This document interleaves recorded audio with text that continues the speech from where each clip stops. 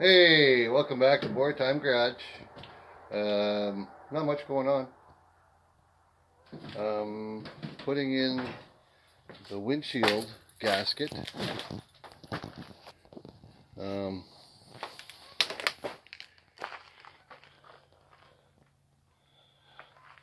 took a, a little while and used a screwdriver, cleaned all the sealer, and uh, decided to test fit it and maybe let it sit and stretch a little overnight. Come back tomorrow. Um, yeah. I took the tomorrow off because I was thinking about going on a trip, but uh, I just ain't feeling it.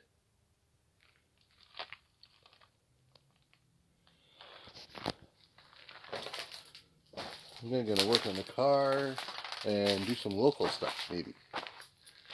Anyways, uh, yeah. This gasket, I think, was in this car. I'm not sure. It might have been in the 69. Anyways, it's old. And it's still nice and, and pliable. Okay? You know, that's the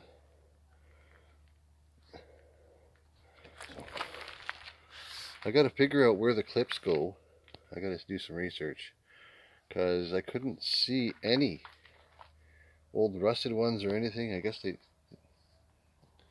they rusted right off, or maybe someone ground them off. Wasn't gonna put trim on. I'm not sure. So got to figure out that. Uh, put that window in tomorrow, and maybe work on this back window. And uh, now that the fire ban is over, I guess I can make sparks again. We'll get this body work figured out.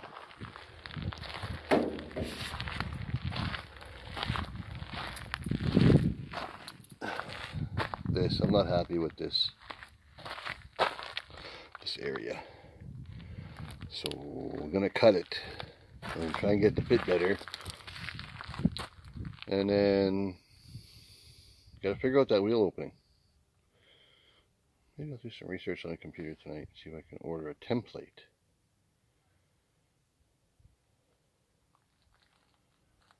But that's uh, kind of where we're at. Um, gonna get the glass in the car, start putting the car back together, do some body work this weekend maybe. Uh, maybe go for a camping trip and have a fire. Burn a steak on a fire. That kind of thing. Yeah. So anyways, uh, there it is. Borrowed time. 67 Dodge Dart with a 440 now. So, uh, like, comment, share, subscribe.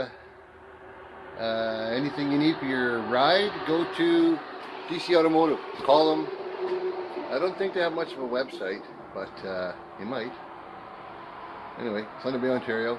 Easy to find. DC Automotive Performance. Um, they'll hook you up.